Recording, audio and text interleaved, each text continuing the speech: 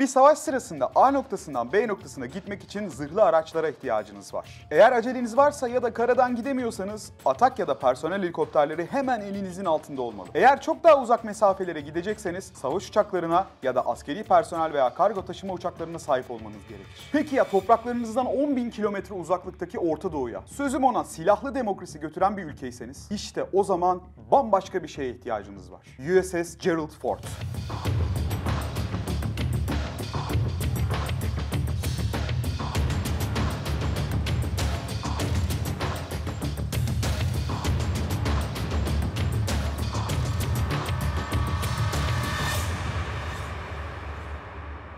Dünyanın en büyük uçak gemisi olarak lanse edilen USS Gerald Ford'a bir uçak gemisi dersek diğer uçak gemilerine haksızlık etmiş oluruz. Çünkü kendisi aslında yüzen bir şehirden farksız. 334 metre uzunluğa ve 76 metre genişliğe sahip bu yüzen kalenin aynı anda 75'ten fazla savaş uçağının sığabildiği yüzey alanı tam 3 tane futbol sahası büyüklüğünde. 40 metrelik rakıma sahip toplam 76 metrelik yüksekliğiyle neredeyse 25 katlı bir bina uzunluğunda. Güvertelerinde uçanı kaçanı anında tespit edebilecek ve beraberinde yolculuk eden savunma gemilerine bilgi verecek gelişmiş radarları, 360 derecelik atışlar yapmasını sağlayan 4 füze bataryası, dakikada 3000 ila 4500 mermi sıkma kapasitesine sahip 4 adet flanks dahil 38 ve 50 kalibre mermiler ateşleyebilen 11 ağır makineli silah yer alıyor. Hatta henüz test aşamasında olan yine Star Wars filmlerinden fırlamış gibi lazer enerji silahı da var ki bu başlı başına bir video konusu olur. Ancak ağırlığı 100 bin tonu bulan bu görkemli gövdenin ve ufka kadar uzanan güvertelerin altında çok daha fazlası var. Mesela 600 megawatt güç üreten iki nükleer santral gibi. Bu gücün ne anlama geldiğini size şöyle anlatalım. Aynı anda yaklaşık 260 bin adet müstakil evin bir aylık ortalama elektrik tüketimini karşılayabilirsiniz. Her evde 3 kişi olsa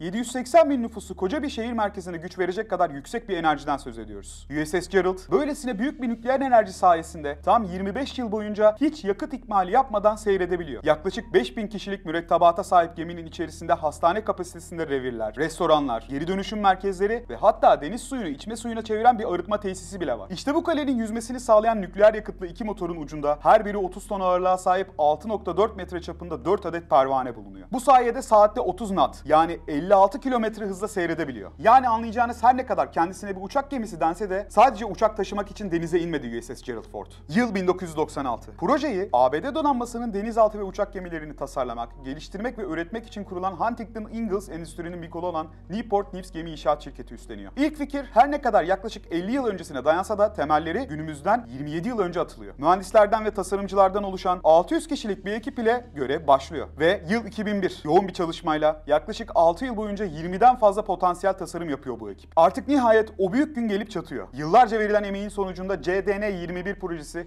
gizli bir toplantıda ilk kez ABD'nin üst düzey yetkililerine gösteriliyor. Tam da o gizli toplantı sırasında öyle bir şey oluyor ki.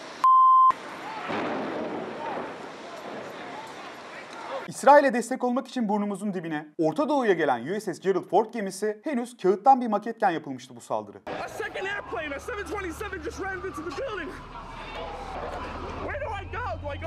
ABD 11 Eylül sonrasında Orta Doğu'ya ve Akdeniz'e bir girdi. O gün bugündür bu topraklar barışın ve insan haklarının bahçesi haline geldi zaten. Ne ironi ama değil mi? Saldırıdan yaklaşık 4 yıl. Projenin başlangıcından 9 yıl sonra. 11 Ağustos 2005'te CDN-21 gemisi için ilk kaynak atıldı. Yani nihayet geminin inşasına başlandı. 16 Ocak 2007'de gemiye 1974-76 yılları arasında ABD Başkanı olan Gerald Ford'un adı verildi. İşte burası çok önemli, bana kulak verin. Gerald Ford 1974'te göreve başlamadan bir yıl önce tıpkı bugünkü gibi bir Arap-İsrail savaşı patlak vermiş, ABD'nin bütün Orta Doğu politikası değişmişti.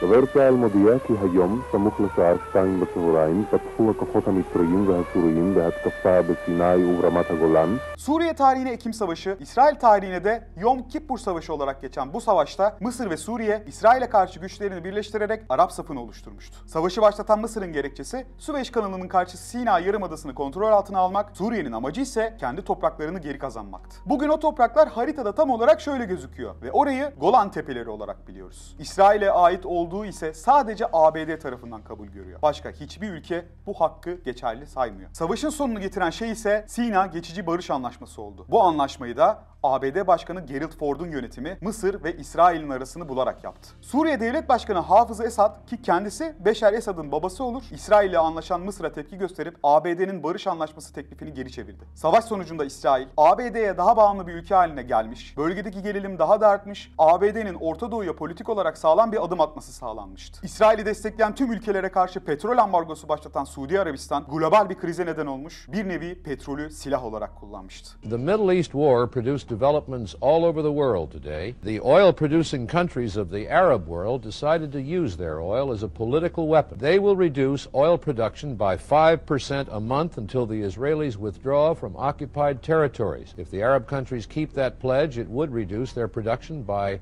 almost 50% in one year. Bu ambargo sonrası petrol zengini olan Suudilerin tüm ekonomik ve teknolojik gelişmelerinin temeli de böylece atılmış oldu. Şimdi yani günümüzde yine bölgede bir Arap-İsrail savaşı patlak verdi. Suriye'nin başında yine bir Esad var ve ABD'nin bölgedeki sözde barışı sağlamak için elindeki en büyük koz bir zamanlar Mısır ile İsrail'in arasını bulan 38. Başkanı Gerald Ford'un adını taşıyan geminin ta kendisi. Tarih nasıl da tekerrür ediyor değil mi? Aradan geçen bu zamanda gelişen teknoloji kadar insanlığımızdan da olduk ne yazık ki. Neyse biz konumuza geri dönelim. 11 Eylül saldırılarından tam 7 yıl sonra. Tarih 10 Eylül 2008. USS Gerald Ford'un inşası için 5.1 milyar dolarlık ilk sözleşme imzalandı. 40 yıl sonra ilk kez bir uçak gemisi inşa edecek ABD'de heyecan yüksek. Çünkü o sırada ordusu Irak'ta savaşta. ABD'nin 10 bin kilometre öteye asker göndermesini mantıksız bulan vatandaşların da nabzını yatıştıran düzinelerce haber, belgesel, köşe yazıları yayınlanıyor. Manşetler hep aynı. USS Gerald geliyor. Aradan geçen zaman içerisinde geminin maliyeti 13 milyar doları. Yani bugünün TL kuruyla 361 milyar TL'yi buluyor. Gelelim günümüze. Dönemin ABD Başkanı Donald Trump tarafından resmi olarak görev başlangıcı yapılan USS Gerald Ford'un ilk görevi bilin bakalım neydi? Wherever this vessel cuts through the horizon,